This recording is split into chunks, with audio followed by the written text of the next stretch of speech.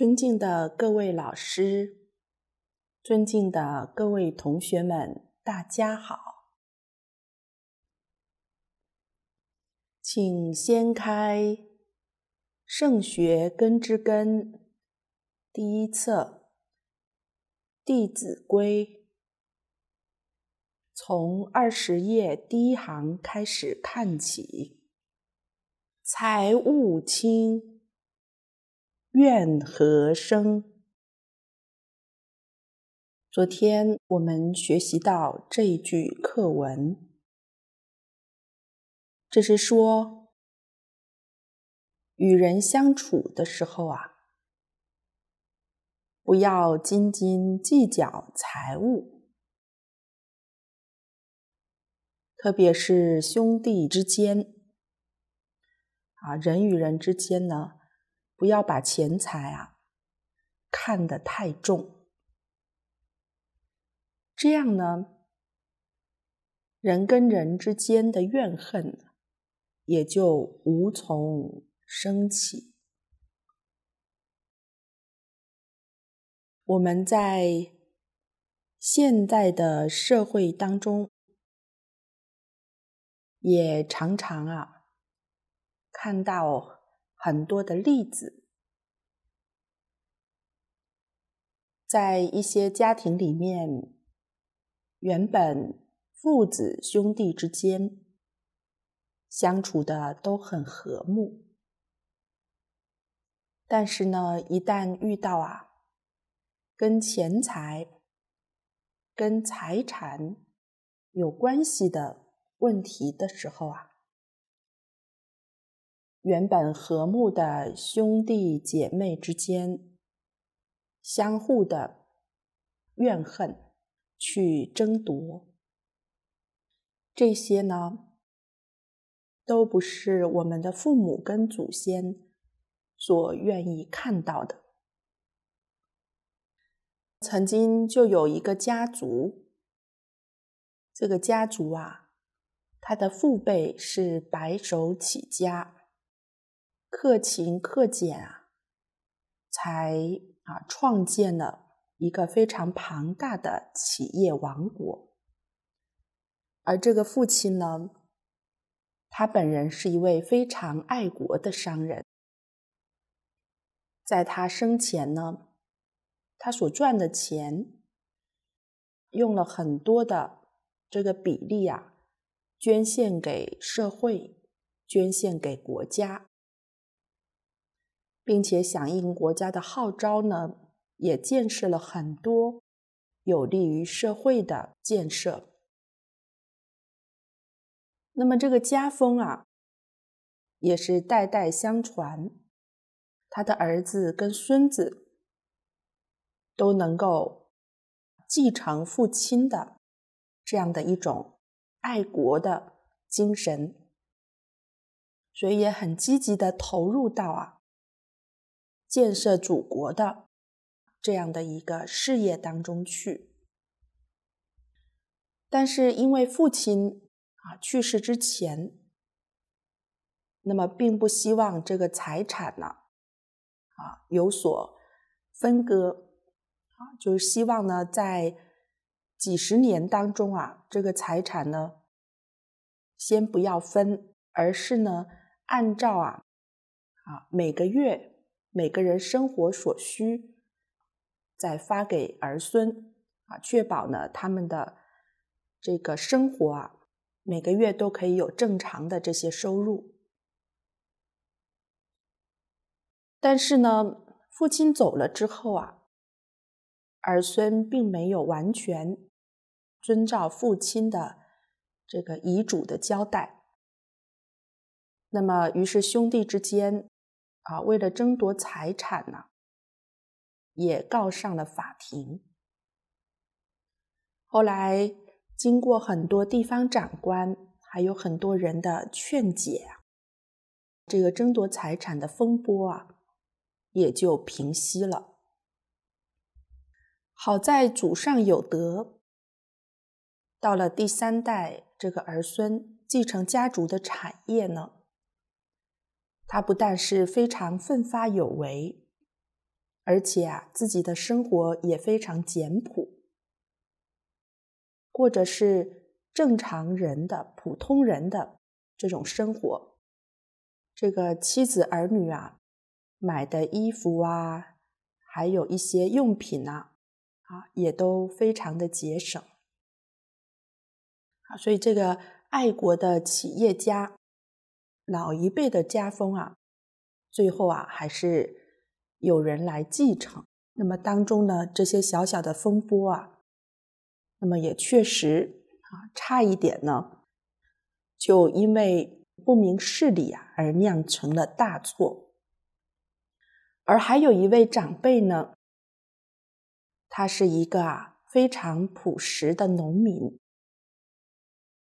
后来呢，也曾经在政府里面呢担任过地方的官员，因为他很有工作能力，所以呢也得到了很多贵人的提拔。但是他一生当中啊，始终生活非常简朴。后来呢，这位老人家过世的时候啊，他所留下来的财产。因为啊，我们师父上人有在世界各地啊，在英国啊，在各个地方提倡建立汉学院，所以这个老人有一些遗产呢，就用来购买啊一些学生读书所需要的这些参考书，把它捐献出来，奉献他的爱心。那么晚辈呢？也没有话说了啊，因为呢，像这样的做法，也是父亲呐生前所愿意看到的。好，所以我们对于钱财物品呢，要看的比较淡一点、薄一点，过着比较节俭的生活，把这些钱财、这些福报呢，用来利益更多的人。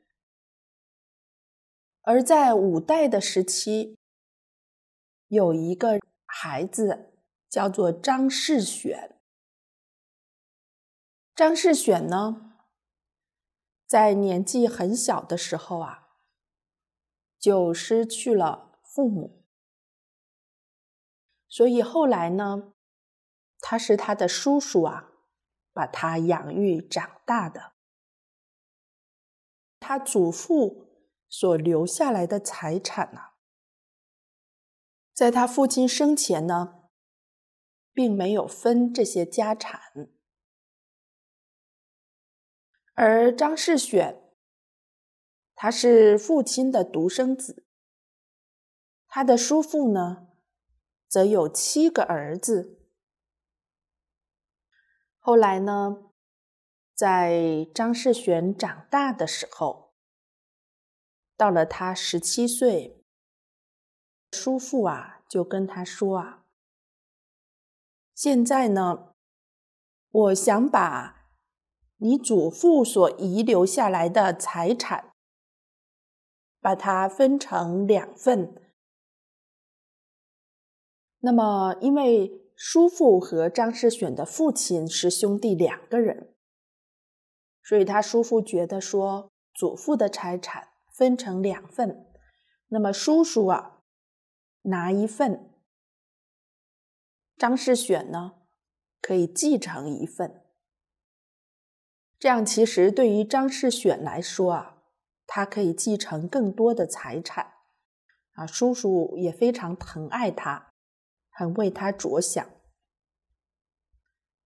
可是张世选他却说啊，叔父是生了兄弟七个人呢，加上我是八个人，八个兄弟啊，应该把这些家产分成八份才好。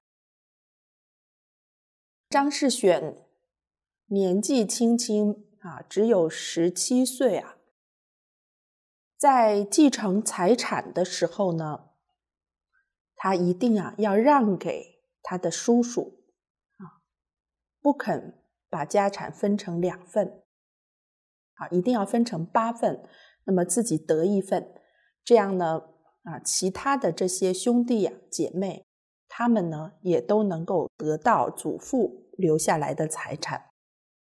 他的叔父听了不同意，张世选呢非常坚持，他一定要这样分。后来没办法，叔叔啊只好答应他的要求啊，他的请求。这个时候，年仅十七岁的张世选呢，他还在书馆当中念书。有一天呢，来了一个会看相的人，无意当中呢，来到他们读书的这个书馆里面，他就见到了张世选。这个时候，这个看相的人呢，就对书馆里面的先生说：“啊，啊，他就指的张世选啊，说这个人呐，满脸阴质啊。古时候啊，一个人他积了阴德，就是平常他做了很多善事好事呢，他这种阴质、阴德的这种气象啊，都写在脸上。会看相的人呢，他就能看得出来。”所以看相的人跟这个书馆的先生说啊，这个孩子啊，将来啊，他一定能中举，考试啊，考取功名，一定能够成就的。想不到后来相士看相的人所讲的话呀，全都应验了。张世选后来果然就功成名就，考中了功名，很有成就。在《太上感应篇》的注解当中也谈到，在当今的这个时代啊，很多人呢对于这个手足之情啊，并不在意，在这个伦常的这个伦理啊，兄有弟恭，长幼有序，这个伦理啊，这个手足之情的方面啊。这么尊贵的东西，他不去追求啊，他去追求的是什么呢？在分财产的时候啊，他要追求这些钱财物品，这些低贱的东西。即使是同父同母的兄弟之间呐，也是如此啊。更不用说，如果是继父继母，这兄弟之间互相争夺财产。互相的在法庭上去告状了啊，这种情况了，在现代社会啊，可以说是比比皆是啊。那就更不用说堂兄弟、表兄弟之间这种情分呢，越来越疏远。手足兄弟之间啊，如果能够看到张世选十多岁的时候啊，他就不愿意。把家产分成两份啊，自己独得一半啊，他一定要照顾到兄弟之间的这种情谊，这种情谊啊，坚持要把财产分成八份。这么小的年纪的孩子就能够深明大义，是重情义、重道义，而不重利益。如果兄弟不和的人啊，因为财产而争夺而反目的人。看一看张世选的做法呀，肯定呢会感到啊非常的惭愧啊。为什么这样说呀？如果我们对于兄弟姐妹太过刻薄了，就是对于我们父母祖先刻薄呀，啊，因为这兄弟姐妹都是父母祖先生命的共同体，对于。兄弟，无论是亲兄弟还是堂兄弟、表亲，这些兄弟，如果不能够和睦相处的话呀，对父母祖宗内心都是很大的一种伤害。也就是孝道的根本已经亏失了，就像一棵大树一样，根本坏掉了，它的枝叶花果呀，必然也会败坏啊。所以，对于这样的一个道理呢，我们为人子女。为人兄弟姐妹，就更应该呀要深思啊。那么蔡老师在讲《弟子规》系列课程的时候，也曾经说过一个很有趣的故事。这是说啊，有一个人他非常吝啬啊。结果死了之后呢，去见阎罗王。阎罗王就跟他说：“啊，你这个人实在是太吝啬了。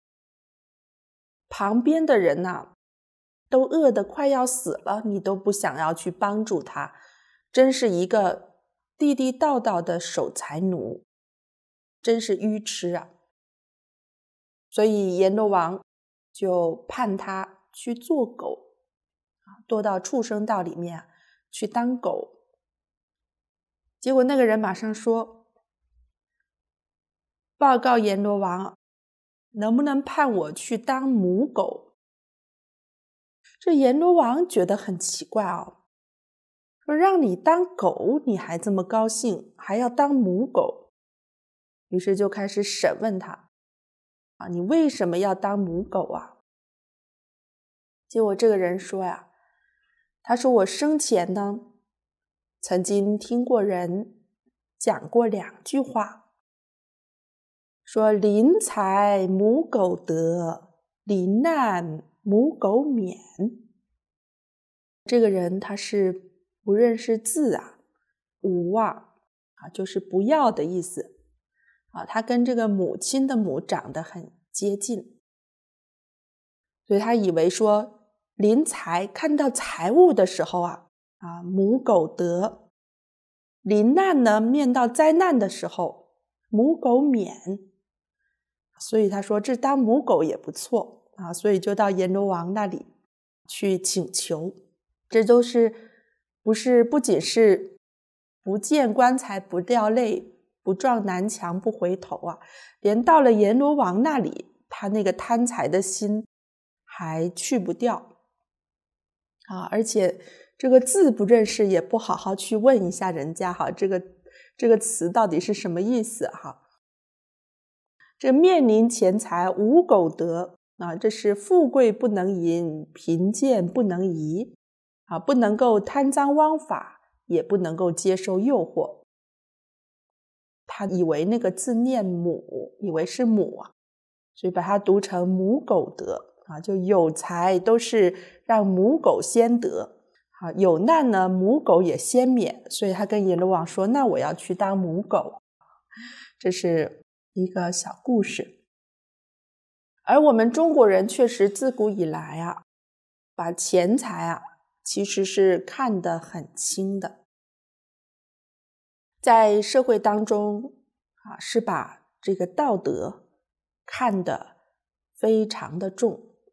这种风气啊，我们在家乡也能够感受到啊，因为我们家乡祖上呢是从福建的漳州渡海来台，定居在彰化这个地方，所以呢，这种传统的啊伦理道德的观念呢，在整个家庭世代的承传当中呢。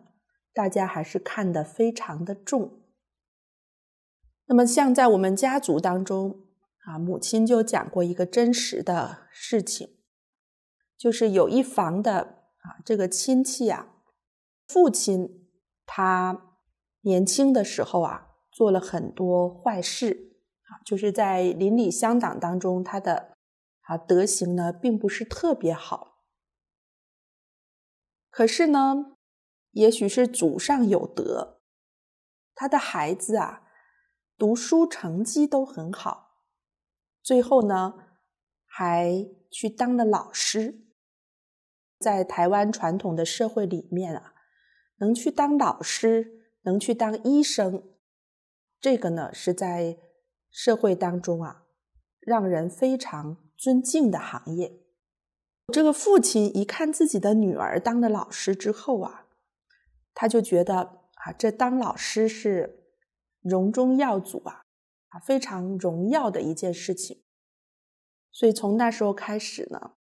他把自己以前的坏习气、坏毛病全部都改过来，啊，人就变得非常的好。这是看出啊，在传统的社会当中啊，因为代代相传，都有受到孔老夫子的教化，有受到圣贤的影响，所以在这种社会价值观里面呢，是把老师、把读书人。看的是很尊贵的，非常的敬重的，而并没有把这个企业家啊排在第一位啊，没有把这个商人排在第一位。这种社会风气和价值观念呢，就在父母亲这一辈啊，祖父母这一辈的啊老人家身上呢，还能够体现出来。那么，当然到现在呢，社会风气不断的变化，人们的价值观呢也发生了转变。所以，在中国古时候社会呢，人在社会上也有身份地位；而在从前这个社会上，所谓的士农工商，中国人看待每一个不同的行业的人的身份地位啊。是按照这个来排序的啊，这个士把读书人是摆在第一位，第二位是农啊。中国是这个农业啊，是立国之本啊。中国古时候很重视农业的生产，所以务农从事农业生产的这些农民，他的地位呢是排在读书人的后面。最后才是工跟商，可是现代社会呢，这个价值观完全是倒过来的，已经不是士农工商，而是商工农士了，把这个商摆在第一位。师傅上人谈到的，仿佛整个社会啊，都被金钱给控制了，甚至于整个社会，无论是从事各行各业啊。也都是向钱看啊，像这个钱金字旁的钱啊，钱财的钱，包括教书的老师啊，把教学当成生意买卖，是学商。比如说，在课堂当中啊，不一定认真的教学，但课后呢，开补习班、辅导班啊，额外的加收学生的学费。啊，拿学来做生意买卖，啊，包括医变成医商，各行各业，无论是从事哪一个行业，只要把这个钱摆在第一位啊，这个性质呢就跟商是一样的。那么这种价值观是完全颠倒过来。换句话说啊。把伦理道德是摆在最后的一个位置上，甚至于根本都没有，根本都不存在了。认为说怎么样呢？在这个社会上有钱就行了。有的人这个价值观真的是一辈子穷的只剩下钱了。人们呢都是这样子在作为他人生的一个目标。我们有见到一位企业家呀，他在没有遇到啊儒释道的圣贤文化之前呢，那么他的事业当时做的特别的成功，做这个大的生意啊，有时候他一天躺在床上啊，一天就能赚进一百万的人民币啊。他说那个时候。啊，这钱多的呀，都不知道怎么花。这一天当中啊，如果他不花掉一万块人民币呢，就觉得今天好像很失落啊，缺少了什么似的哈，一定要吃喝玩乐啊，把这些钱花出去啊。所以在很早年的时候啊，当人们还在向往万元户啊，说一一个人如果他们家能够赚进一万块钱，啊，这个家整个乡里的人们都很羡慕啊。而当时呢，他是啊想着一天怎么去花掉一万块钱啊？啊，那时候是人民币币值还是很厚的。那么就是过着这种非常浪费的生活呀，奢侈浪费的生活，最后啊，他的身体啊就出现了状况，亮起了红灯。那么就在他人生陷入低谷的时候，一个人他一辈子生活的这么富有，他突然间被医生给他判了死刑，啊，自己都不知道自己能不能活下去。啊，身心啊非常的疲惫啊，这个心理特别绝望的时候啊，这个时候他遇到了传统文化圣贤教育，就在这个传统文化当中啊，他重新找回了生命的希望。那么他就跟他自己身上的这些癌细胞沟通啊，他说呢。他说：“从前啊，我是个恶人。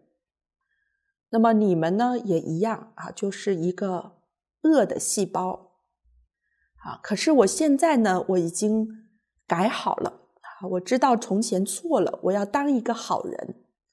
那么你们呢，也要跟我一样啊，从不好的细胞啊，改变成好的细胞。”啊，他就经常跟身上的这些癌细胞啊进行沟通，进行交流。那么与此同时呢，他遵从儒释道圣贤的教诲啊，开始断恶修善，好把以前呢这些抽烟喝酒啊、吃喝嫖赌所有的坏习气全部都改正过来，然后呢，非常积极努力的去推动这个《弟子规》，推动啊。儒释道的圣贤文化，并且呢，把这个教育啊也带到他的企业当中，让他的员工啊也都有机会呢来学习啊，而且他很积极的在企业里面发放光碟啊，办班教学。他原来的这个企业的一个旧的一个房址啊，当时被火啊给烧了啊，就是他。商场搬到新商场之后呢，以前那个旧商场所在地啊，发生的火灾。而当时火灾之后呢，有很多的小摊贩呐在里面，他就没有办法生存呐，非常的苦恼啊。于是这位企业家呢，又免费的给他们减了一年的租金，好让他们搬到这个新的地方来，可以好好做生意。好好呢，再从头做起啊！所以这些小商贩呢，都非常非常的感恩这个老板的恩德。好，他就这样呢，很大力度的在自己的人生历程当中啊，发生了一个决定性的转变。想不到啊，后来他的病啊就好了啊，发生了奇迹啊，几乎是医学上的一种奇迹。最后再去检测呢。各项的指标啊，全都正常。好，所以我们看到现代的社会啊，人人都羡慕向往这样的大企业家的生活呢。啊，可是呢，像这一些有志之士啊，啊，有智慧、有福报的企业家，他们现在反过头来啊，开始来推崇这个伦理道德、因果圣贤的教育。啊，这是一个非常好的现象。在古代社会啊，是尊崇伦理道德啊，这个读书人啊，有道德、有学问的读书人呐，在社会当中啊，是非常受人尊敬的。所以，我们今天社会出现的问题是出在哪里啊？就是出在这个士农工商颠倒，变成商工农士啊。什么时候呢？我们可以把这种价值观再转回来。啊，那么我们的社会啊，才能够真正的得到安定。而我们在学习啊小儿语跟续小儿语啊，也跟大家分享过《了凡四训》这部书。其实有的时候啊，我们像我们学到这句课文啊，“财物轻，怨何生？”当我们人对于这个钱财物品不能够看得淡，不能看得开，也不能看得破的时候啊，其实往往是我们对于这个命运的真相。对于一些事实的真相不能够搞清楚，之前有谈到啊，佛经里面有说三种布施，钱财啊，其实呢，并不是我们去抢去争就能得来的，而是啊自己命中所有的啊，财布施呢就能够得财富。法布施得聪明智慧，无畏布施得健康长寿。只有勤于修集这三种布施啊，才能够啊增长我们的福报，改变我们的命运。那么这一点其实呢，在《了凡四训》里面啊，是了凡先生用他自己的身教以身作则呢，来这个证明。人的命运是可以改变的啊，而且人一生当中的祸福穷通，都不是老天给予的，而是我们自己所造成的。当年了凡先生他在慈云寺遇到孔先生的时候啊，当时呢，孔先生啊劝他要读书。去考取功名，并且呢，因为孔先生本身呢，他是一个非常高明的少子皇极术正传的这个传人呢，所以他啊算一个人一生的命运就算得很准，包括他什么时候考第几名啊，这个名次，还有什么时候可以啊去任官。啊，他的官位，甚至于他的寿命，这些都能够算得非常清楚。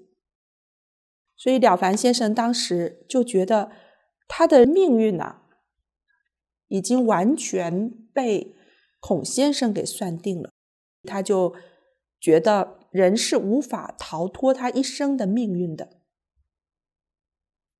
一直等到啊，他后来在。栖霞山遇到了云谷禅师的时候，他才了解命运的真相。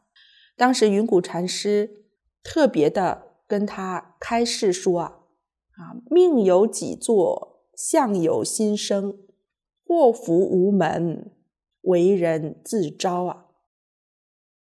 啊，因为当时了凡先生他觉得自己一生被孔先生算定之后。感觉好像人很难改变与生俱来的命运的安排，可是云谷禅师啊教他，人的命运是可以改变的啊。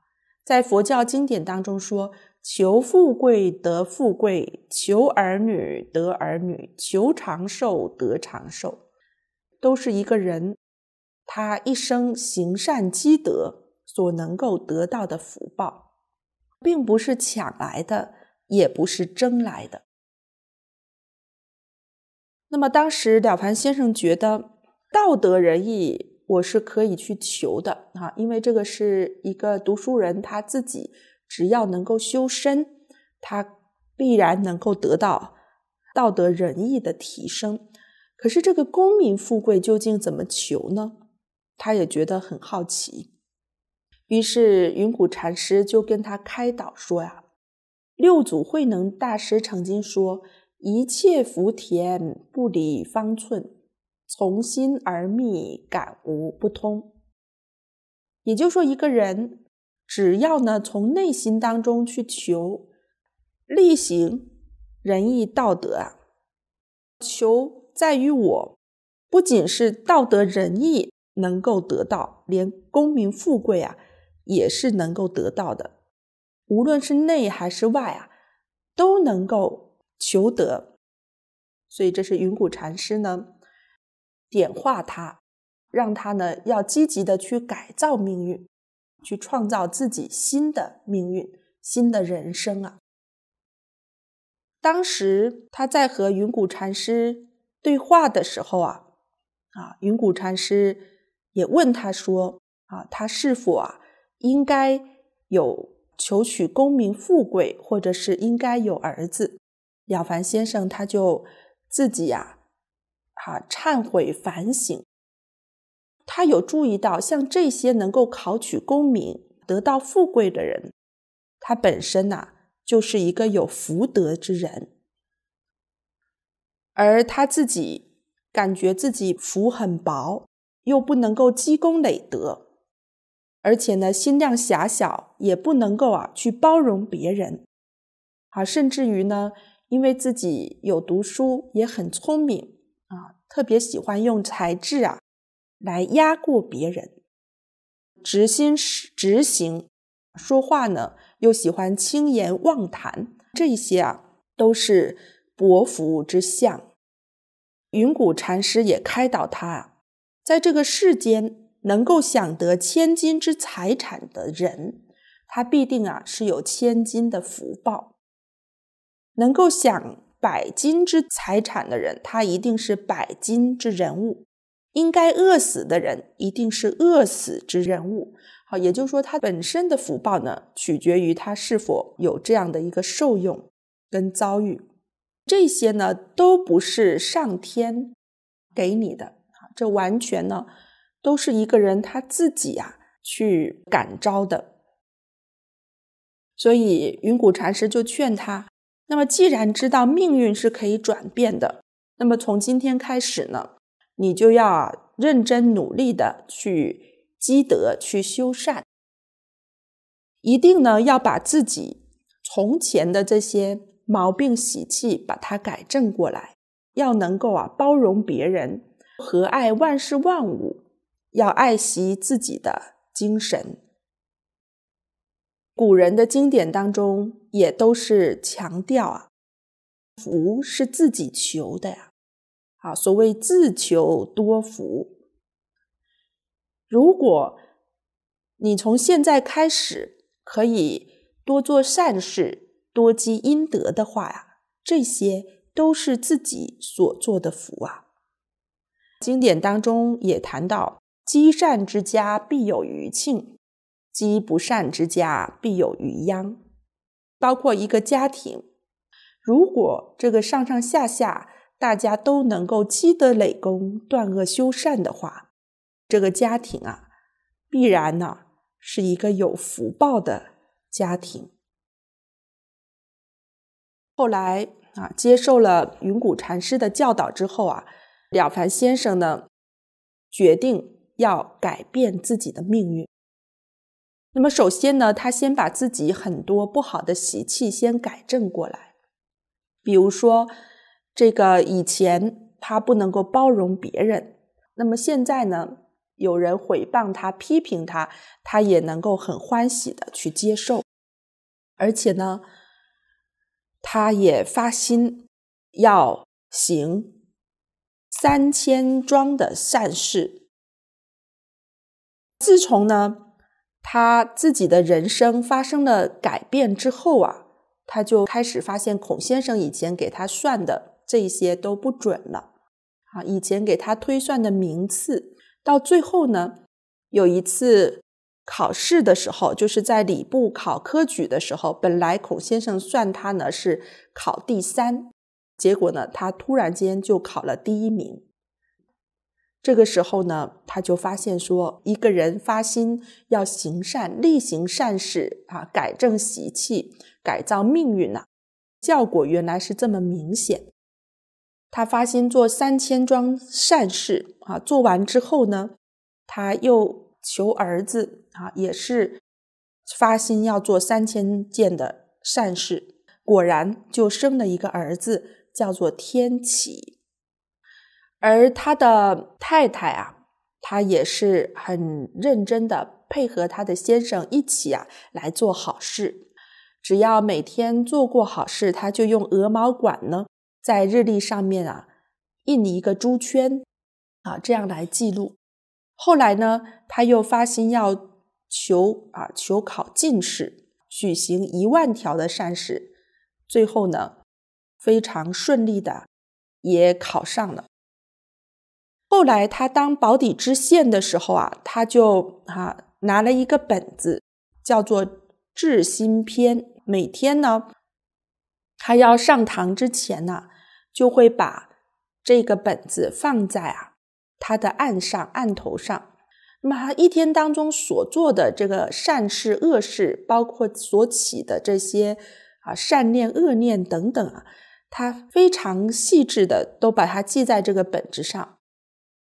到了晚上呢，他就效法赵清献公的做法呀，祭拜。天地神明把自己呢一天所做的事情呢，都跟天地神明、跟祖先呢报告。了凡先生啊，他用自己一生实际的例子呢来证明命运的改变是真实不虚的。他深深的体会到啊，凡是强调说祸福是自己所求，这是圣贤的言论。如果说一个人他一生的命运祸福穷通，都是上天所安排的，这个是一般世俗人的见解。于是了凡先生他把他一生的这种经历，还有呢他对于啊改过迁善的种种的这些经验呢，都写在了凡四训里面，要传给他的儿子。他也期望他的儿子啊，能够真正的。保有谦虚的德行，扬祖宗之德，盖父母之谦，报国家之恩，造家庭之福，真正的成为一个改变命运、创造命运的读书人，这是他对于他儿子的一个期许。当我们了解这个人的命运的真相的时候啊，我们这一生当中啊，我们念念所想的。都是希望能够断恶修善、积功累德、造福于百姓，自自然然呢不会因为这些钱财物品啊去跟人家斤斤计较。因为了解命运的真相，我们知道命里有时终须有，命里无时莫强求。即使啊你去给人家抢来的、争来的，也都是自己命里所有的。有一位长辈呢，他曾经呢，哈，在东北遇到一个人啊，那么以前呢，这个人他都是会用赌博的方式啊，就是在赌博的过程当中啊，他有办法作弊，每次呢都是靠骗钱啊，靠骗术啊去赌博的时候啊赚取很多的钱。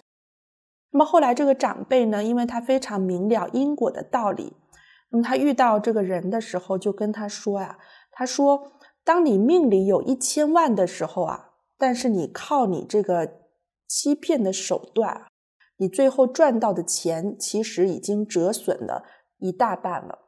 本来你可以赚一千万，但因为你这个钱呢，都是用这种欺骗的手段得来的，所以可能你只是赚了几百万。”那么你还心里觉得很高兴。后来他把这个因果的真相啊告诉他之后啊，想不到这个人浪子回头啊，他就开始发心吃素，决定啊再也不用赌博的方式呢去骗钱了啊，而是呢规规矩矩的、本本分分的来做事情。好，财物轻，怨何深？好，我们就学习到这里。下一句，言语忍，忿自泯。这是说啊，我们说话能够包容，能够忍让，多说好话，多说良善的言语，不说这些坏话，忍住气话，那么不必要的冲突跟怨恨呢，自然就会消失啊，它自然呢就不会发生了。兄弟之间啊，之所以会产生一些矛盾、一些过节，有很多啊，是因为争夺钱财造成的，啊，或者呢，是因为言语不谨慎，彼此之间发生一些口角冲突，有的时候呢，就为了一句话或一件小小的事情，彼此之间呐，各不相让啊，各自赌气啊，最后呢。这个兄弟之间的不和怨气越结越深，如果没有处理好的话呢，甚至于终身都不能化解，还怀恨在心，这个呢，对于啊这个兄弟之情啊是很深的伤害。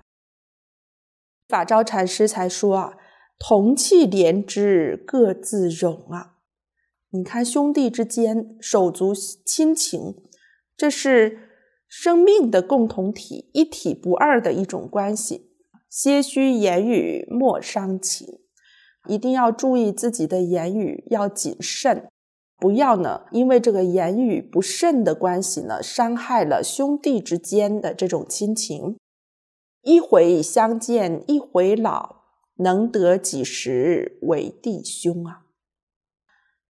特别是当父母亲不在的时候啊，我们兄弟姐妹之间这种亲情就更加的珍贵了啊。如果没有生活在一起的时候啊，可能隔一段时间再看看自己的姐姐，看看自己的哥哥啊，发现呢彼此也是两鬓斑白啊，一天比一天老啊。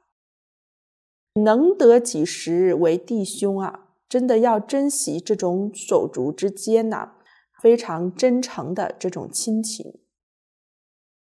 那么天伦之乐呢，不要因为啊言语的关系啊，导致呢兄弟之间的不和啊。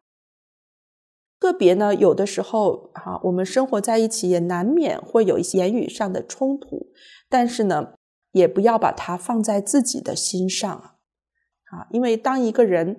比如说他生气的时候，啊，有时候他讲的话呢，可能稍微重一点。兄弟姐妹之间呢，也不要把它放在心上啊。哪一天他觉得后悔了、忏悔了啊，可是你还在那里念念不忘他说的这些话啊，这就不好。总之呢，人跟人相处啊，心量啊都要放得开一点，放得大一点。而特别呢，是在。兄弟不和啊，彼此都不肯见面呐。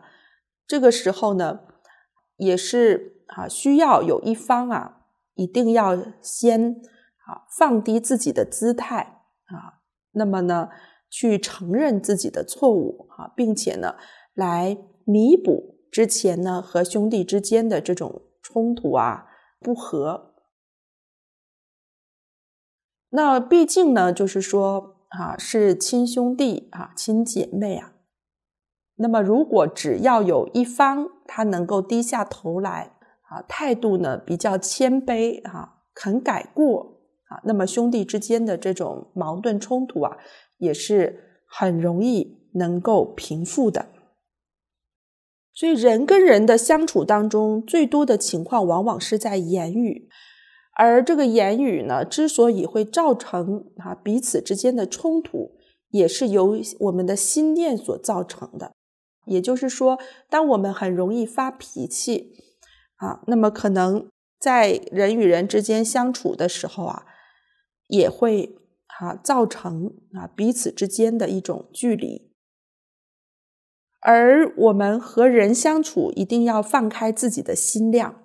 不要因为自己心胸狭小啊，而障碍了我们彼此之间的这种好的关系。而俗语有言，在《延寿要言》这个书当中也有记载，说利刃割体恨易合，恶语伤人恨难消。我们如果用恶语伤人的话，这个话呢，可能。留在他的心目当中啊，会很久很久。所以，我们即使再生气啊，也不要说一些啊让人没有办法接受的话。好，就像我们之前说过的那个故事，啊，一个小男孩他非常喜欢生气，就他爸爸呢就教他说啊，你下一次每生一次气啊，你就呢啊在外面啊这个木头栅栏上面钉一个钉子。那么一开始，这小男孩每天都要钉很多的钉子在上面。啊，后来呢，他通过这个方式啊，他渐渐了解到自己的这种毛病习气很重啊，就决定开始改过啊。后来呢，这钉子啊，每天钉的越来越少啊，最终呢，就再也不发脾气了。后来父亲呢，又教他。只要有一天不发脾气呢，就把这个钉子啊再拔起来。啊，最后果然呢，他把整个啊栅栏上面的钉子啊都拔光了。他也把自己的习气呢，自己的这种好怒、好生气的坏毛病啊给改正过来。啊，但是父亲带着他去看这个篱笆的时候，他说呀：“你虽然把钉子都拔了，啊，但是呢。”在这上面所留下的伤痕呐，啊，却是无法弥补的。那么我们跟人之间啊，言语的冲突也是这样子。恶语伤人，恨难消啊。话你说出去了，那么可能他一辈子都记得。如果他心量比较狭小，又喜欢记仇的话，啊，你后面你再怎么去啊弥补自己的过失呢？那么也没有办法呢，来平复对方内心的这种创伤，所以我们还是要用方法来对峙自己的愤怒，而对峙愤怒最好的一个功夫啊，是什么呢？就是这个忍字。人和人之间相处啊，能够彼此包容，能够彼此忍耐呢？这个呢是一个很大的学问。在唐朝的时候啊，张公义他们这个家庭呢是有九代人一起生活在一起，不分家。于是呢，当时的皇帝啊，就是高宗皇帝啊，就找了张公义来询问说啊，为什么你们这个家族？能够这样和睦的相处呢？究竟你是用了什么方法能够做到这一点呢？于是张公义呀就请求啊皇上呢给赐给他纸跟笔。那么他用这种方式来回答啊。于是高宗皇帝呢把纸跟笔给他之后啊，张公义他提起笔来啊。在这张纸上写了一百多个忍字，然后呢，再送到皇帝那里。按照他的这个啊说法，大凡一家人、大家庭啊，彼此之间要共同在一起生活啊，在一起相处啊，宗族当中之所以不和啊，往往是因为尊长的饮食。有时候，比如说财产呐、物品呐分的不够平均，或者是呢啊晚辈的礼节啊，有一些方面做的不够完备，大家呢就互相的责问，互相的呢产生一些怨恨，那么就会发生有很多啊这个家族的亲人之间的吵闹啊、冲突啊，所以如果大家呢。遇到任何事情都能够相互忍耐，那么家里呢，当然就能够和睦相处啊。所以张公义在唐朝啊，他们九代人能够生活在一起，这个家族能够和睦相处，最重要的就是这个忍字啊，能够包容，能够容忍。在家庭的生活当中，啊，对于呢家族所有的这些啊财产物品啊，在分配的时候可以平均，好，那么应该要遵守的这些礼节啊，也都能够啊认真的去遵守。这些都能够去落实的话呢，这个家庭啊，自然就能够和睦。而李文庚先生也谈到，处家之道啊，当然也不是一个忍字所能说尽的，这个学问很多。所以我们看很多古时候的这些家规啊，给子孙的这些教诫，都写的非常的详尽。那么当然也不是一句话、一个字所能够概括的。忍，它是争字的反面啊，争夺的争的反面。人跟人之间之所以有一些对立冲突，一开始发生某些事情的时候啊，也许这些事情都是一些小事，这些冲突也是一些小小的冲突。可是呢？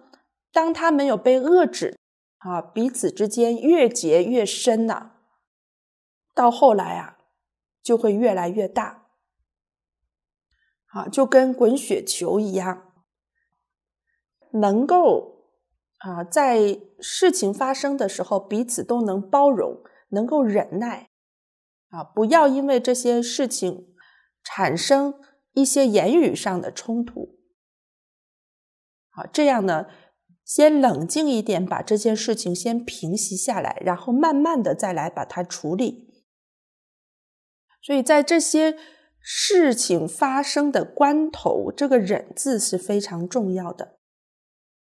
一忍则无事啊，更何况是相孝于忍啊，更何况是全家上下大大小小都知道忍，那么自自然然这个家庭能够和睦相处，这个呢？是能够落实的。那么，当然，张公义先生他治家呀，他也是有他的一套规范跟方法的。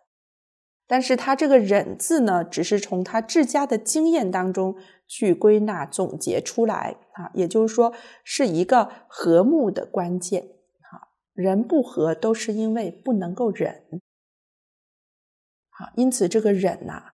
也是非常重要的一个原则。说到这个言语，这句课文啊是“言语忍，忿自泯”。在孔子家语当中啊，也有记载说，孔子观周啊，遂入太祖后继之庙啊，他到庙堂。的前面呢，就看到一个金人，这个金人呢是三针其口，在他背后写着一行字，是“古之圣言人也”。古时候呢，这个人他讲话是非常的谨慎的。知府上人啊，特别把一幅金人名就挂在客厅当中，就是挂在父母跟老师的。照片的旁边，金人铭也特别强调啊，这块碑呢是道光年间的一块石碑啊，从这个石碑当中踏下来的。那么这里就有谈到戒之哉，戒之哉啊，我们都要引以为戒，要重视我们言语上的修为啊，就是所谓的口德。无多言，多言多败。一个人如果他话特别多，而且说的都是一些无关紧要的话，那么可以想象他做什么事情啊，其实是不容易成功的，很容易失败。为什么呢？从他言语当中就可以看出，他这个人说话做事都不够谨慎。吉人之辞寡，造人之辞多呀。一个人呢？他要把事情做好，往往他在言语上面啊，要非常注意分寸啊。无多事，多事多患呐，不要去多事。像雪公老人所讲的，好人好事，好不要没事去找事，不要去无事生非啊。否则呢，就会有很多的祸患出现了。所以说，无多事，多事多患呐。安乐必戒无形所毁，物为和尚？其祸将长；物为何害？其祸将大。金人名呢，就是强调啊，孔老夫子在太祖后继的庙堂当中所看到的这个金人，是三针其口，而且呢，在他背后刻着“古之慎言人也”啊，只教导我们了。言语确实是一定要非常非常的谨慎。言语不但呢是我们啊家庭和睦的重要的关键呢，也是我们处事成败的一个重要关键。在古人劝世的言语当中啊，也是劝导我们家和万事兴。如果我们家庭都能够很和睦的话呀，那么这个家庭自然就会兴旺。如果在家庭当中呢，总是吵吵闹闹的，可想而知啊，灾祸啊必定会到来。好，那么这句课文我们就学习到这里，我们接着看下面这一句。或饮食，或坐走，长者先，幼者后啊。我们良好的生活习惯呢，是要从小啊培养的。无论我们是在用餐啊，是在行走、就坐，都应该要谦虚礼让，真正做到。长幼有序，让年长者优先，年幼的人呢，则是在后面。天地万物都是有各自的秩序的，人跟天地万物并列为三才，三才者天地人呐，人。自自然然呢，也是要遵循这样的次序顺序。身能够循长者先，幼者后这种顺序，遵守礼节，这才显示出一个人他的尊贵呀。而反过来，如果我们完全不重视礼节，长幼尊卑之间也没有顺序啊，在很多的事情上呢，那么可能会让别人哈看不起我们，我们就啊有损于啊这个三才者天地人啊人的这样的一个尊贵的一种身份呢。而家国呢，也是同样的道理啊，家庭、国家、社会。也是靠着这样的一个自然的秩序而长久的。如果我们这种伦理的次序、长幼的次序也都乱成一团，那么在家庭、在社会当中啊，自然就会造成一种混乱，造成一种动荡。我们无论是在饮食、坐走。日常的生活当中，都要按照长幼尊卑的顺序次序来排列，啊，千万不能够以晚辈的这种强势欺凌长辈，啊，也不能够说我的福报比较大，那么我就很傲慢，看不起长辈，包括一个人的才干啊、德行啊，啊，也都不能够啊。逾越长幼尊卑的一种伦理的次序，或饮食，或坐走，包括了我们生活当中衣食住行各个方面呢。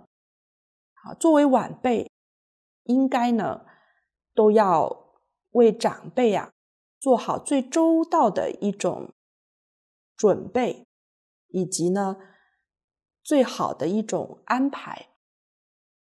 当我们的长辈他年纪大了，一生当中啊，可能他啊为社会国家做了很多贡献，而当他呢年老的时候啊，退休在家，生活上面都是仰赖儿女、仰赖学生来照顾，而生活当中就是包括这些穿衣、吃饭呢，就是重要的内容。在里面呢，点点滴滴啊，都是在考验我们啊，是否有注重这个长者先、幼者后的礼。当然，不只是饮食了啊，其实包括生活的方方面面啊，也都离不开这些原则。而在饮食方面呢，我们也要照顾到啊，之前有谈到，我们吃饭。吃东西不能只是单方面的考虑年轻人的需要，啊，而是呢要充分的了解老人的需要，啊，就像我们还在父母亲怀里的时候啊，对于小宝宝，对于这些小婴儿要怎样照顾，父母亲完全是循从着这个小婴孩的需要的。那么老人也是如此啊，啊，比如说准备饭菜的时候啊。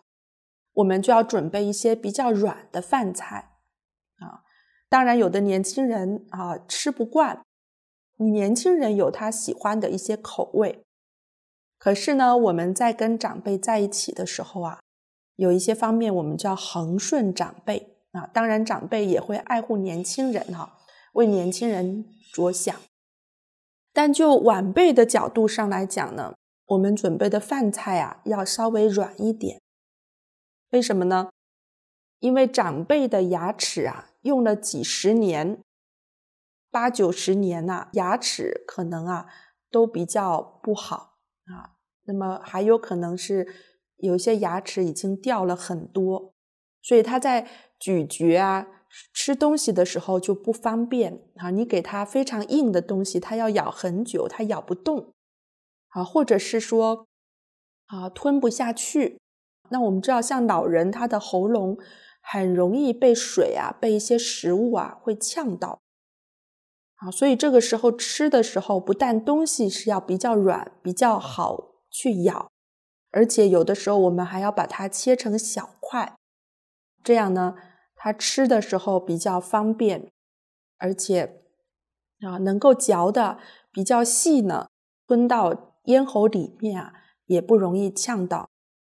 这些食物啊，特别是有一些啊菜叶啊菜跟那个菜杆呐连在一起啊，常常都要把它切成小块，以免老人家在吞的过程当中呢啊不谨慎呢啊一下子就噎着了啊，或者是啊呛到了啊，包括有一些啊比较黏的这些东西啊啊，就是很容易啊会。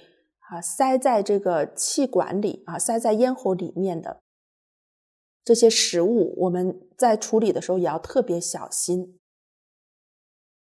所以在准备饭菜的时候啊，就要特别注意。我记得有一年刚好是去澳洲的过程当中，我们跟啊徐喜明老师还有江一子老师呢，在同一个飞机上面。那么当时呢，有一位长辈啊，来负责照顾这些老人。印象中，他在飞机上呢，再次确认啊，两个老人家吃的这个饭啊，是不是稀饭啊？稀饭就是比较软。那么当然，坐飞机之前，可能提前呢，在预定的时候就要跟航空公司特别要求。那么到了飞机上呢，这位长辈，我们就看到他再次去确认。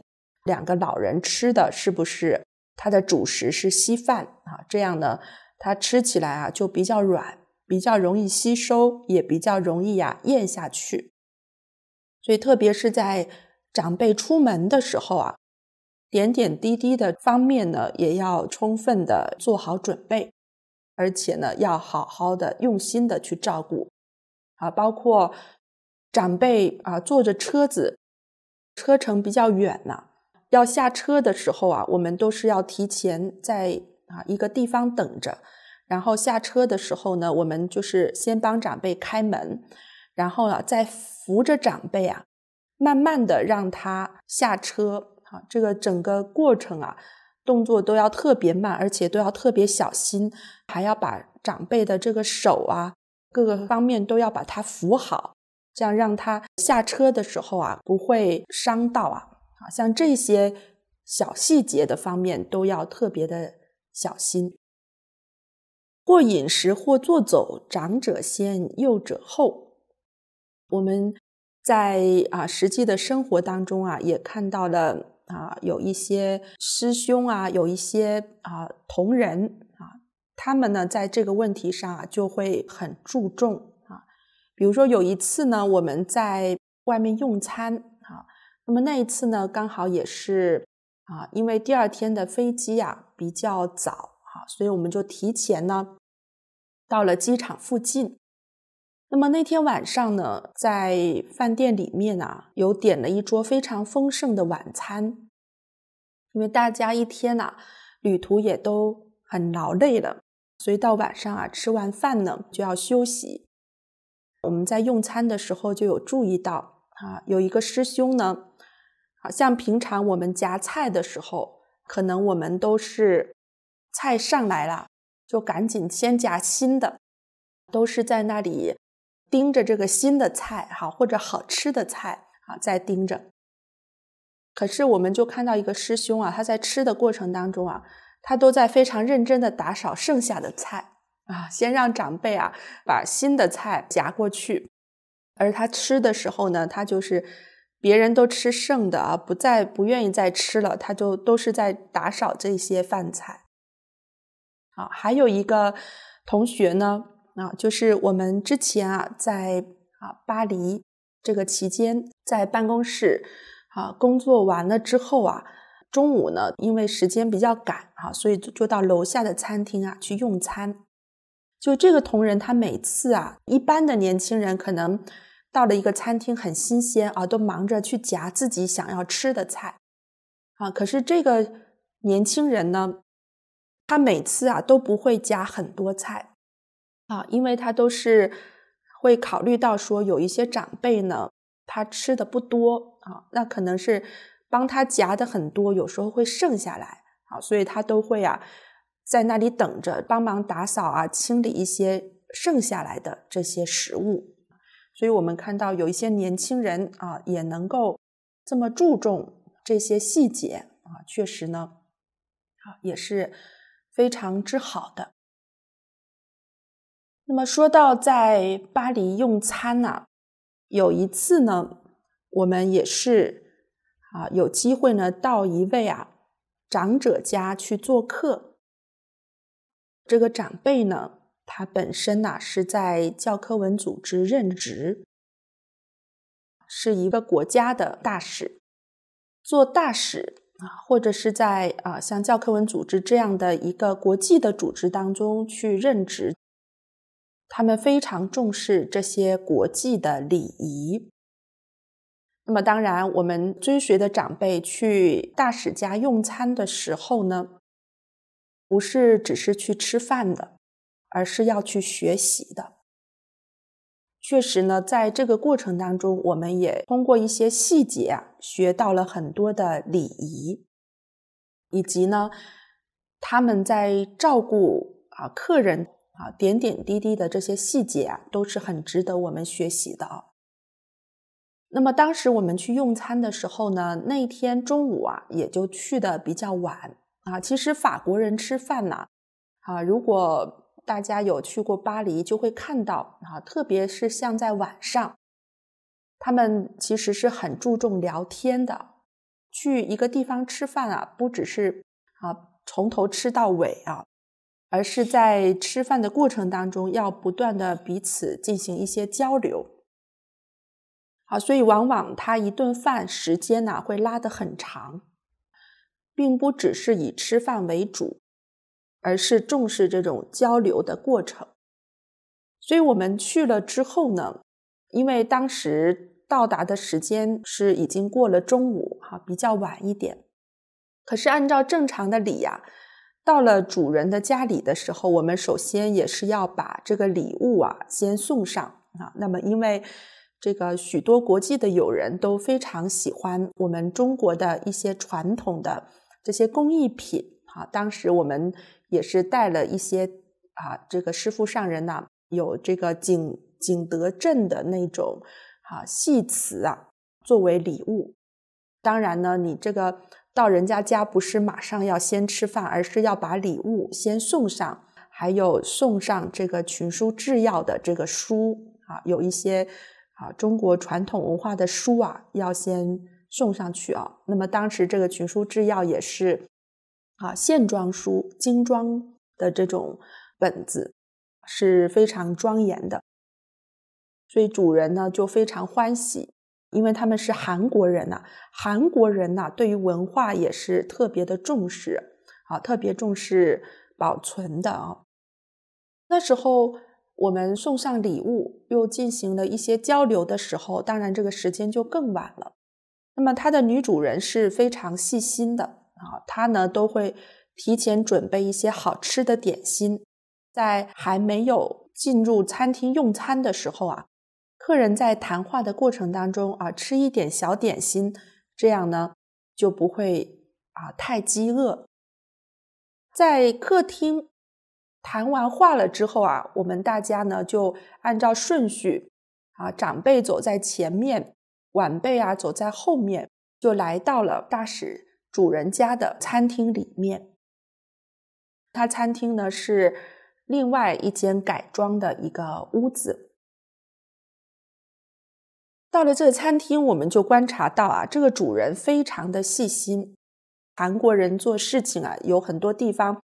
因为他也是遵循传统啊，遵遵循文化，有很多地方呢也是很值得我们学习的。女主人她非常细心，在我们去之前呢，就已经把我们一行的这个名单都啊传给他了。好，那么这一行的名单啊，他的名字、他的身份，谁是长辈，谁是晚辈啊，这个接待的主人首先都要搞清楚。为什么呢？因为在这种场合里面是很重视礼仪的。那么长辈啊，一定要坐在主位；晚辈呢，一定要坐在次一点的位置。位置是不能搞错的。在这种国际的大都会、大城市里面，特别又是像教科文组织这样的国际组织里面啊，有许多事情，他们日常应对的都是一些外交工作。啊，所谓外交无小事啊，接待的每一个细节都是很重要的啊。如果把这个伦理的次序弄错了，长幼尊卑次序弄错的话，有一些懂礼的客人呐，他会觉得主人啊没有安排好，这个场合呢就会很尴尬。所以我们要去之前呢，他就已经把我们的名单全部都掌握到。并且呢，当我们还没有进入餐厅的时候，就是一个座位表、座位图，主人呢就已经事先把它安排好。因此，我们在餐厅的门口就已经看到有一部机器，这个机器呢上面的荧幕啊就显示着这个座位图。每个客人要进去之前看了一下这个荧幕上面的座位图。他一进去，他就知道他应该坐在哪个位置，次序就不会乱。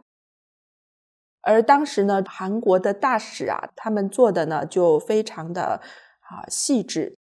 西方人吃饭呢，他们一般都是用啊长长条形的桌子，跟我们啊中国人不同。中国人啊用的圆桌是比较多的啊。那么关于长桌跟圆桌。这个当中呢，你这个座位次序的排放摆放呢，也都是不同的。这一点我们要是学习常理举要啊，啊，就可以看到一个比较详细的说明啊。啊，徐喜明老师呢有做过讲解。那么作为长桌呢，主人跟客人啊，这个主宾呐是坐在长桌的正中间。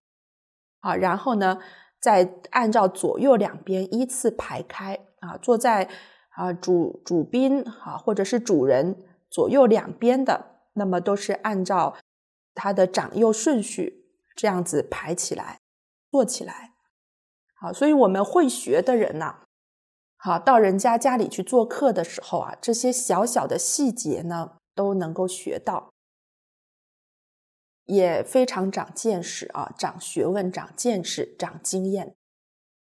那么这个排座位表它已经排好了，我们看一眼之后一进去，每个人都坐到属于自己的位置，一点都不乱。即使人再多啊，他这样子来安排呢，我们呢啊一进去之后也不会发生说，哎呀，我我在哪，我要坐在哪啊，乱成一团，绝对不会有这种景象出现啊。那么再来一点，现在中国人也是这样了。特别是在欧洲，对外国人啊，他们很重视这个礼呀，也特别重视家庭的观念。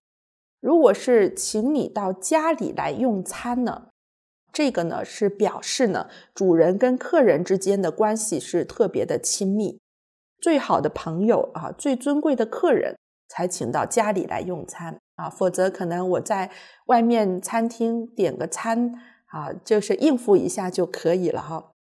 能够到家里来用餐呢？这个在外国人的礼俗当中啊，这个是表示一种非常尊敬的表现。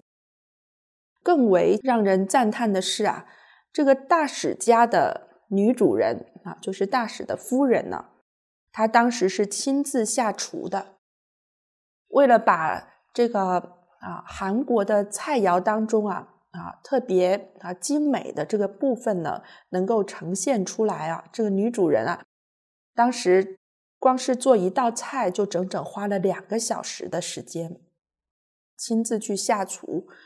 那么确实这个菜呢做的非常的美味。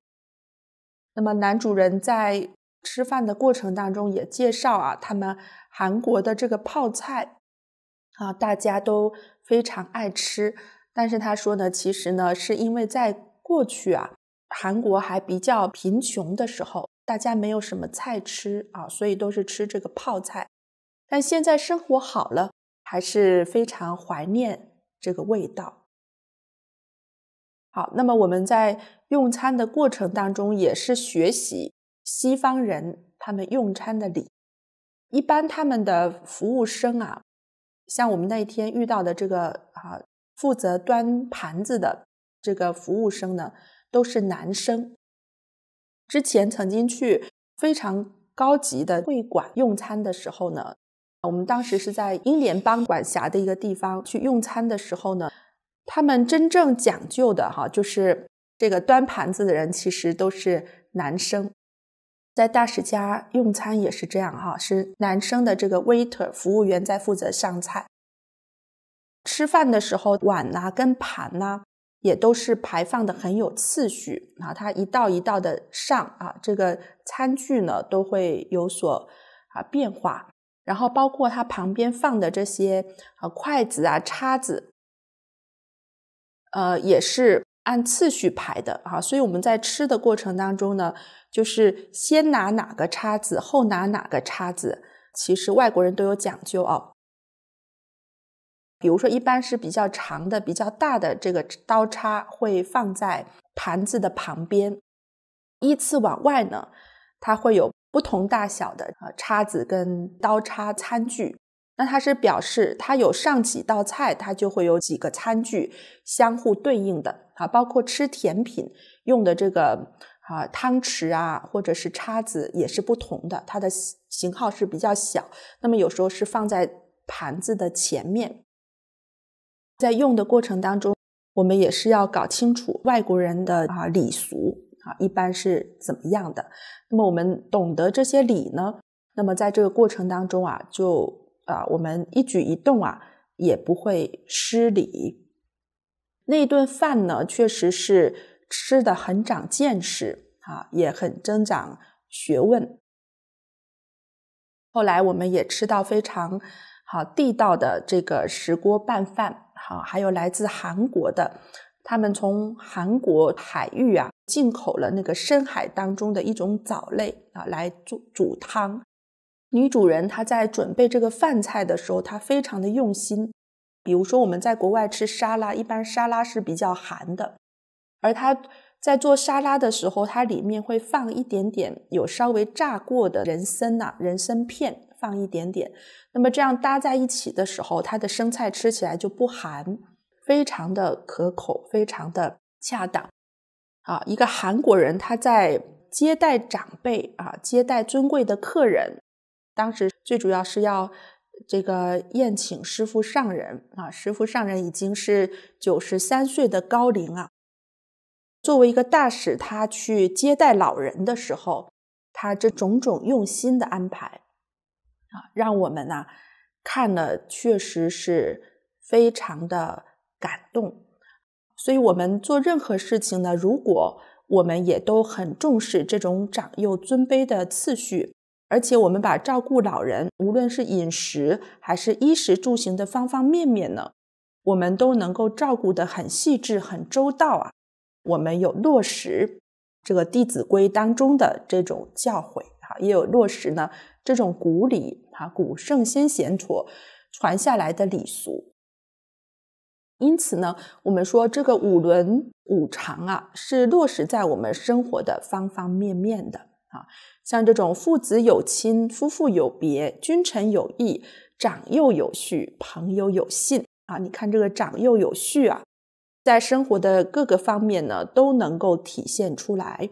那么，当然不只是在吃饭啊，或者是在啊走路啊啊坐座位啊行走啊，或者出门的过程当中，它而是涵括了我们生活的方方面面。所以，这个五伦五常呢，都是我们在生活当中啊要把它做到的。那么下面呢，我们也分享在古时候的一个非常温馨的感人的故事。这也是宋朝的一个大家庭。宋朝的陈坊啊，我们知道陈坊白犬啊，这个故事可能很多人都有听过啊。宋朝的陈访呢，从他的祖父陈从把这种。家规家法流传下来啊，他们一家人一起共同居住啊，有十三代人之多啊，啊，十三世同居，而且呢，他们全家上下一同居住的这些男女老少有七百多人。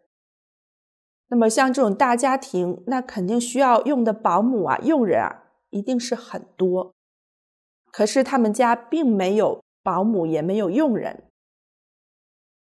换句话说啊，家庭的点点滴滴都是自己要亲力亲为的去做的哈。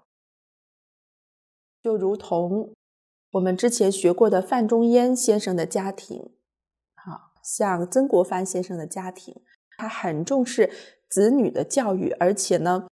家里的家事一定要自己的子女亲力亲为啊，自己去做，不要靠这些佣人啊、保姆来做。所以陈坊家他们家里上上下下的人呐，都非常和睦相处，没有一个人会讲一些不应该说的话。我们前面学言语忍，忿自泯呐，一个家庭要和睦相处啊，这个言语啊。是特别重要的。那每次吃饭的时候啊，他们也是很讲求长幼尊卑的顺序。大家吃饭的时候是在厅堂里，那么我们可以想象，七百人的大家庭，他们吃饭的厅堂一定是比较大的哈。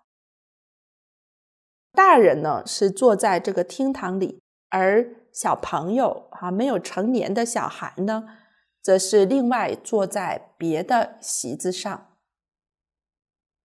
这一家人呢，他们吃饭呢，对于长幼有序这个方面呢，平常就做得非常的好。在陈坊家更有趣的是呢，因为家里人口众多啊，古时候的家庭都是会养狗哈，这些狗啊。往往是用来看家的，比如说在晚上的时候啊，啊，如果是有什么动静，这个狗啊，它首先比人耳朵还要灵敏，所以养了很多看家的狗。这个狗啊，就一百多条啊。更特别的是呢，这一百多只狗都是在同一个槽子里面吃饭，他们也很讲究规矩的。这一百多只狗，只要有一只狗还没有到啊，其他所有的狗一定会等它，不会先吃。这就是家庭的家教，连这些动物啊都受到感化。邻里乡党这些邻居啊，也都被陈氏家族的家风所感化。那时候呢，有一个地方官啊，姓张，叫做张其贤，就把这件事情奏报给朝廷，奏报给皇帝。朝廷还有地方政府，为了表彰他们家庭的良好的家风家道，于是呢。就免除了他们的徭役。徐子敬先生说道：“啊，一犬不至，群犬不食啊！一百多只狗啊，只要有一只狗没有到啊，其他的狗啊都不会先开始吃。”在我们中国的历史上，我们看到很多的孝子啊，他用他的至诚的孝心。感动很多毒蛇猛兽啊，甚至于呢，是一些小虫子、一些小的昆虫，万事万物之间呐，都是能够感通的。那么人跟动物，这是属于比较近的，有时候往往是会生活在一起。自然，一个人哈，在一个家庭当中啊，整个家族他们的风气啊。自然呢也会影响到这些动物啊，它们日常的一些生活。所以在高僧传当中，我们有看到有的狗啊也有过午不食的。那么像陈坊白犬哈，这一百多只狗连吃饭呢都非常啊重视这个礼。我们可想而知啊，这个呢也是在情理当中的。或饮食。或坐走，长者先，幼者后。像这些呢，都是让孩子啊，在生活当中就培养一种对于长辈的恭敬之心。他这种恭敬之心呢，会落实在他生活的点点滴滴当中。也就是说。当一个孩子他看到饭菜，首先就会想到他的父母，想到他的长辈，他一生的一些德行都是在这些生活的细节当中不断的提升，包括走路也是这样子，无论是行住坐卧啊，啊，长辈走在前面，啊，晚辈啊走在后面，这个呢是对于培养孩子的恭敬心。从小从这些点滴当中培养，对他的一生是能够产生影响的。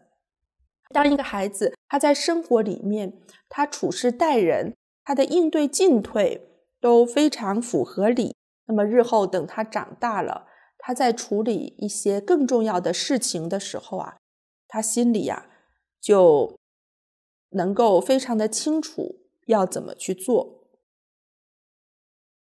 我们之前在《礼记》当中，啊，也常常看到一句话：“所谓傲不可长，欲不可纵，志不可满，乐不可极。”在《弟子规》学习落实当中啊，啊，像这种或饮食或坐走，长者先，幼者后的态度呢，其实呢，也是在培养一个孩子，他从小啊。就要具有一种非常谦卑、一个非常谦虚的态度啊，不能够傲慢。时时任何事情呢，他心中都会有长辈，任何事情啊都不敢逾越他的本分、他的职责。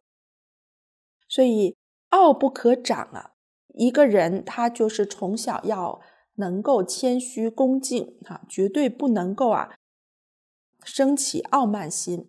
而这种谦卑恭敬呢，其实也是在啊穿衣吃饭的这些日常生活当中去培养起来的。啊，如果一个人他傲慢心起来的话呢，他是很难去受教，也很难去成长的。好，再来是欲不可纵。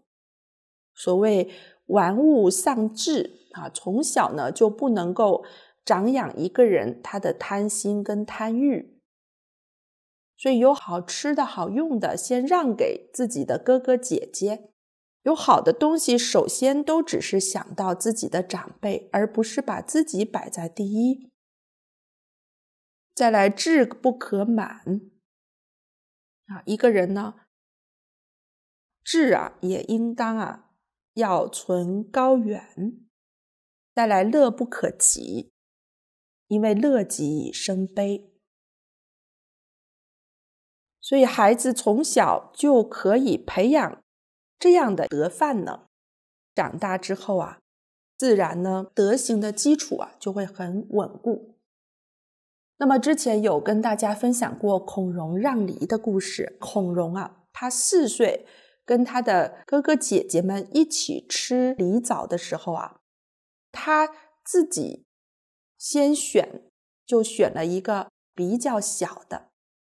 那么人家问他说：“你为什么挑小的呢？”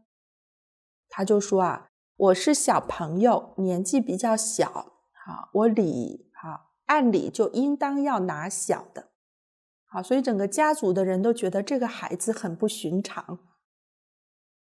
你看，一个梨子啊，对于一个四岁的孩子来讲啊，算是比较珍贵的礼物食物了，因为可能四岁的孩子也不太懂什么钱财啊这方面的哈。所以这个饮食方面对他来说啊，就是属于比较大的钱财了。这个时候他就能够恪守这种长者先幼者后的一种啊礼节啊，先让自己的哥哥啊兄长啊把大的让给他们。所以我们看一个人，他一生。道德学问有成就，其实是从小时候啊就能够看出源头啊。那么，当然，孔融他本身天资也是非常聪明的，他幼年的时候就特别有才气，在十岁的那一年，跟着父亲到了洛阳啊，在洛阳就有一位哈在朝廷任职的一个官员，叫做李英，那时候是很有名气。太学的人赞叹他是天下楷模啊，啊，李元礼呀。要是读书人当中能够被他容纳和接见的啊，人们都认为这是登龙门。但是到他们家去拜访的呢，一定要是青年才俊，或者呢是品德高尚的人，或者是他们家的亲戚，是这样的人，他的仆人啊。才肯去通报，而孔融当时他很仰慕李英的德行。有一天呢，他就独自去拜访李英，结果呢，这个门房就问说：“你是谁呀？”他说：“我是你们家老爷的亲戚。”于是门房就让他进去了。但跟李英见面之后，他从来没见过孔融，也不知道是哪一门的亲戚，就问他说：“啊。”你跟我有什么亲戚关系呢？结果孔融就跟他说呢：“我的祖先仲尼啊，也就是孔子啊，啊仲尼先生曾经向您的祖先伯阳啊，伯阳就是老子，曾经跟您的祖先伯阳先生问过礼，有师生关系，所以我和您算起来也是累世之交了啊。”那么，当然我们可以想象，李英看到这样的一个年轻人，哈，他的啊这种应对啊，应该也是觉得非常的有趣哦，啊，想不到小小的年纪，啊，这个反应这么灵敏，这么聪明。这个也是古人呐，从小很注重在家庭教育当中就培养熏陶为人子弟的品德。那么特别像孔家啊，这是孔氏家族的后人呐，一代一代呢都特别恪守着孔老夫子所流传下来的这种家风。之前我们在欧洲曾经看过啊，关于孔老夫子的一个纪录片，当时啊，确实特别的感动啊，看的过程当中啊，忍不住流下眼泪，因为在社会比较动荡的时候呢，当时孔氏家族他们的子孙呐，就抱着祖先的牌位，抱着孔老夫子的牌位呢，渡过了海峡。来到啊台湾生活，所以在台湾呢能够找到孔老夫子的后世的子孙，而且呢，他们至今呢在自己的祠堂里面供奉的这个牌位呢，也是好几百年前啊从国内啊渡海运过来的那个牌位，都是孔老夫子的像，他的牌位，他后人呢都是定时的会去祭祀。